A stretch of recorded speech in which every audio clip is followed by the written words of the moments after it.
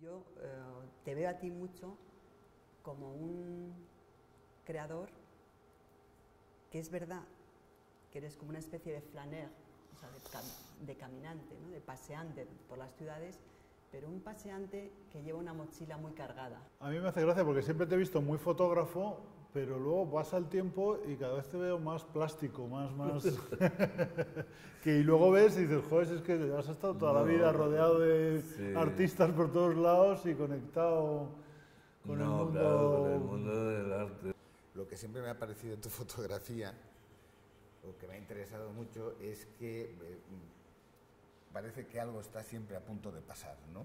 Ah, sí, sí, sí, me acuerdo, eh, tu esta- texto. Lo viste, zas, eh, la sacaste Sí. y, y era algo que no querías, no querías que se dieran cuenta o, o- o molestar o que te Sí, vieran, sí. ¿verdad? No, lo que, Esas- lo que se dice una instantánea, sí, así. El ojo móvil. Hay una cosa de tus fotos que me gusta y que a mí me parece raro, que es eh, lo- el no subrayar las cosas. Yo creo que, ahora mismo y, y desde los años de los 80 se subrayan demasiado las cosas y a mí esto es como un momento de felicidad no subrayada, que es como tienen que ser los momentos de felicidad, ¿no? De todos modos, es que el gesto de las manos es, es puro Enrique, o sea, es, es- es el, el gesto cuando Enrique se dolía cantando de verdad, es, es ju- es justo es ese, ¿no? A, bonito, veces se cogía la chaqueta también. Y entonces, bueno, pues entre que voy y vengo, pues siempre salen cosas. Salen ¿no? cosas, sí, sí. Pero bueno. Hombre, claro, vas con la mirada de, de la cámara. Es, es increíble la magia de la fotografía, poder Sí, componer sí. estas, estos casi puzzles, ¿no? Cuido mucho la composición y tal, aunque es algo muy rápido y muy intuitivo, ¿eh? Sí, porque tú en la, en la foto estás componiendo cuando vas a sacar Sí, la foto, claro, ¿no? Es yo siempre compongo. Tú eres un compositor. Sí, no, en serio, ¿eh?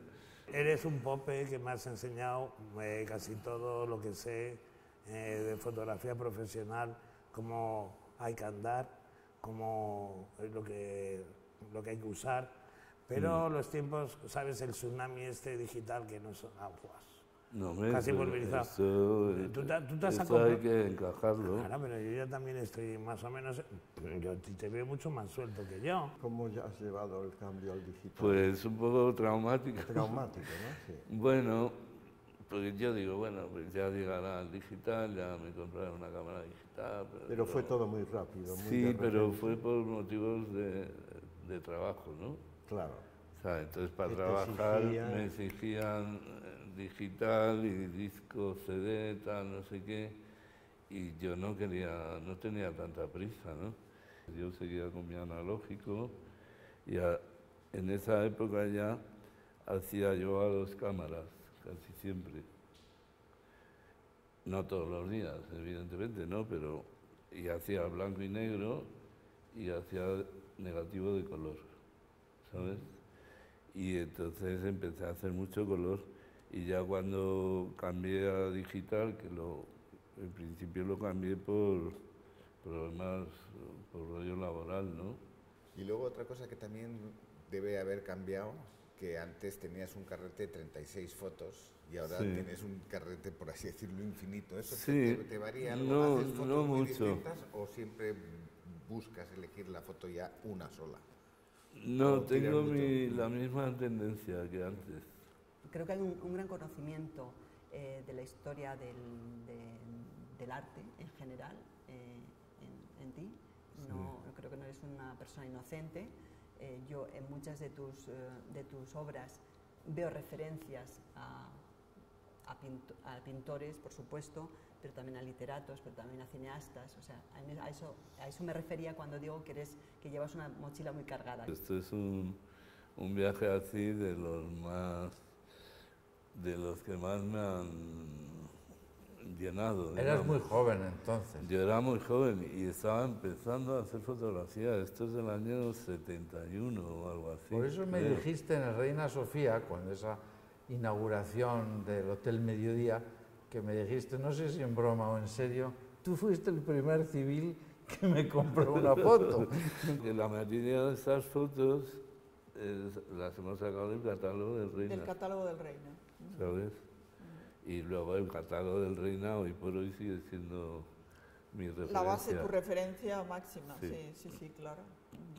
Que es un catálogo, vamos, estupendo. Yo veo que en cierta manera hay cosas de tus fotos, eso de las, Sí. eso de las pequeñas cosas que no Sí, interesan sí. a casi nadie y, y la elegancia en, en un en el planchado de un mantel, eso me encanta. He escogido esta pieza porque aparte de que es muy, para mí es muy, muy significativa de ese trabajo Mm. tuyo de paseo, por la colilla, porque me parece ya el, el culmen, digamos, de irse fijando, sobre todo por una razón, porque no es solamente el hecho de que haya una colilla, sino que el gris de la pared con el gris del cigarrillo, el blanco, como el corte de blanco que tiene, el, el- es Pues como si eso es puro azar, ¿eh? Hombre, no, pero esa- es que le veo la forma está así, en forma de arabesco, ¿no? Como Que me, que me deja un poco... un pez, ¿no? Y esta, esta la conoces, ¿verdad? Joder, que, que no la conozco, sino que es, que, es una vieja amiga. Mm, Una vieja amiga. Esto yo nunca lo había visto. ¿No? No he visto ninguna Ninguna foto como esta, yo tampoco, No. de toros, jamás una, una- Y nada mira, parecido. La sensación es de tranquilidad, de silencio, de un sitio que no hay más que esta persona y tú que estás aquí. Sí. Y, y- y- y sin embargo la plaza está llena de gente de bote en y- bote. y, el lío está montado allí detrás. Pues nada, la mejor entrada de la plaza, ¿eh? Es la mejor entrada de las ventas. Es- O sea, es- no- es. Y entonces tú al pasar por ahí, la plaza está, ya estarán toreando Están toreando. y tú te bajaste a Yo dar me una vuelta o fuiste al servicio o algo. Me bajé a algo. No sé si fui al bar, he entendido por alguna razón, no sé, o al bar o, o Al- tal. sería al bar. Seguramente. Seguramente. Me gusta el fotógrafo y la modelo. Y el reflejo y los espejos es muy conseguida. Tú tienes cara de simpatía en la foto, cuando haces la foto. Yo es que estaba ahí mirando, tengo los dos ojos ab- abiertos. porque- Los dos. Sí, entonces estaba Porque mirando. Normalmente cierras el contenedor. Normalmente cierro uno, pero ahí están los dos abiertos controlando a. ¿Y por qué será? Por No, controlando a Pilar. a Pilar. El, a ver el momento de. A mí me ha interesado siempre tus autorretratos, los has hecho además a lo largo de toda la vida, Sí. siempre, pero este me parece que es mm, como muy, muy, muy contundente porque Es muy divertido. es- primero estás ausente, vamos, o estás invisible pese a todo, Sí, es decir, sí, sí. mm, eh, fotografías la cámara, o sea, el- tu rostro de golpe es la cámara, Sí. eh, y, o perdido por el juego con los espejos. Parece casi una foto de grupo, ¿no? Sí, porque es, es una fotografía de un autorretrato que, que compone un grupo. Un grupo. Y algo que es también muy de muchas fotografías tuyas, ¿no? que las personas estén o de espaldas, o que estén, que no, est- no están pensando ni, ni por un instante ni se están dando cuenta de que les estás No, no, fotografiando. sí. Y lo del Y- hotel, lo de- del hotel es otro referente Y constante. el ¿no? hotel es un referente porque también en todos los hoteles que voy, pues siempre suele haber una foto, vamos, Sí. siempre. Y luego, claro, los ojos y el corazón para que la, la foto tenga así, que, que tenga algo más que, que plástica, ¿sabes? Que tenga emoción. Sí, ¿no? sí, sí. Es como, como componer una pintura pero a una velocidad supersónica, ¿no? Sí, sí. Yo pienso que un escaparate como este dice mucho de la ciudad. Concuerda, creo, con, con mi gusto este, por las ciudades y por, por esto que es la ciudad gráfica, ¿no? Colores, letras, rótulos. Nos quedamos con eso, colores, letras y rótulos. ¿Eh? Enrique decía que siempre que se iba al extranjero siempre encontraba el candela allá donde estuviera y Un candela, un ¿no? candela había siempre, ¿no? Pues este también Pues es otro este candela. tiene su mundo, tiene su mundo, Esteban. Esta es una foto más expresionista, ¿no? Esta es de Sí, como movimiento. negativo también, o sea, negativo color. Y bueno, pues es muy curiosa. Es, esto es en Seúl, Aunque esta foto te la podías haber encontrado en Madrid. esto en la castellana, por ejemplo. Claro, Sí, sí. con lo cual se demuestra que un fotógrafo Sí, encuentra las cosas que quiere encontrar, vaya En- donde en vaya. cualquier sitio, en cualquier No, no es sitio. necesidad de la búsqueda del exotismo. ¿no? Me gusta mucho el, dónde estoy yo situado, la composición, el taxi, vamos, me parece que está muy bien repartido. Esa disposición que hay, ¿no? Los zapatos blancos de ella, Sí, ¿sabes? En esa tan sombra. ordenadito, ¿no? Está todo la- ordenado. La, sombra es así, circular. Es redonda. Habiendo toda esa, toda esa historia detrás, tú eres capaz de crear otras cosas y de crearlas Sí. con tu propia personalidad y con tu propia mirada, ¿no? Que es, Pues eso es una suerte. Es lo que, lo que se espera de un creador, ¿no? ¿Qué echas de menos de blanco y negro? Porque eso te obligaba a mirar de otra manera, me imagino, ¿no? No, el cambio más radical es que luego esto conllevaba que lo revelaba yo todo, lo positivaba todo y tal. Y entonces eso sí que lo, bueno, lo he hecho en falta, yo no sé si algún día el laboratorio lo conservo, pero es que no, no me metí en el laboratorio hace cinco años o seis. No, no, pero No, me decir hubiera que- gustado que hubieran que coexistido con, la- los... con el fotoquímico uno se piensa mucho lo que está haciendo.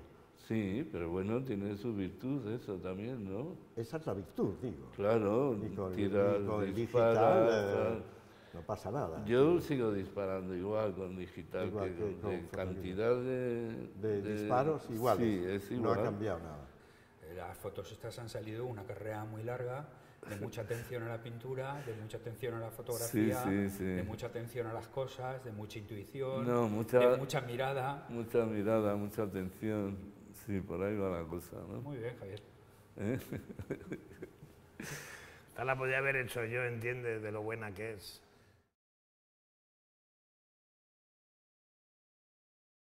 Yo creo que nos conocimos hacia los, a principios de los 80 o Sí. finales de los 70. Y yo creo que esta foto ya la vi, ya la vi entonces. Podría haber sido gris y ser una foto en blanco y negro, ¿no? Bueno, pero gris está- eh, en blanco y negro esta foto no sería tan bonita. Me encantan las fotos de, de interior que, que tienes, que tienes una, una sensibilidad para captar, ¿no? Y en el fondo vemos el, o miramos el mundo a través de, de los ojos, de tus luego- ojos o de, o de la lente de tu cámara, ¿no? Sí. Igual que tú miras a través de la ventana o de, de los hoteles que mencionabas Sí, antes. sí. Es mi sombrero. Sí. Que no lo abandonas nunca. ¿eh? Solo cuando duermes, me imagino. Está esta persona aquí, el otro allí no se sabe muy bien, no está muy claro qué pasa. Y puede ese perfectamente, a partir de aquí podríamos hacer un relato. Me encanta porque estaba como escondido, Ido. agazapado Sí, sí, y sí. en un sitio insólito, porque esto era como un parquecillo Sí. Y de repente, pum, un tiburón blanco ahí, tío. No, Lisboa es una ciudad preciosa para hacer fotos, Mm, ¿eh? Y no he tenido yo ningún lío allí con la gente. ni No, nada. son encantadores Hombre, los portugueses. con Y en esta, por ejemplo, para mí me remite, también me parece sumamente evocadora, y me remite al cine neoexpresionista alemán de los años 20, 30. ¿Y hay, y hay ciudades así recurrentes sobre las que vuelves para buscar, para hacer fotografías? Sí, hombre, hay ¿Tienes- sitios que me gustan mucho. Eh, últimamente estoy yendo mucho a Italia. Modestamente te digo que el blanco y negro me lo, lo hacía bastante bien. Te lo currabas. No, no, Sí, porque dudas, vamos. lo revelaba yo, la película, y lo revelaba pues con un- de una manera muy mía, muy especial, y luego las copias las hacía yo siempre. ¿Y esto qué es? Este es el río Mondego. Ah, vale, sí, ese es el- Y es una barca, pues un poco Ah, que, barca, te, que claro. te pasea. Ya, ya, ya. Que te puedes ir allí, te dan de merendar y todo. Claro, sí, sí, tiene ese refinamiento ahí. Sí, sí, sí. Y eh, bueno, como en- inglés. ¿Te acuerdas de Rolf? Sí, te- tu amigo que- La foto de, de un avión como suspendido en, en unas... Sí, sí. Esa es buenísima. Que y, un edificio como racionalista, no sé si de Alejandría o de él. A mí esas fotos tuyas son las que más me molan. ¿Sabes? ¿eh? Al- a la Esas ca- entre, entre día y noche. A la caída de la tarde. Yes. ¿Eh?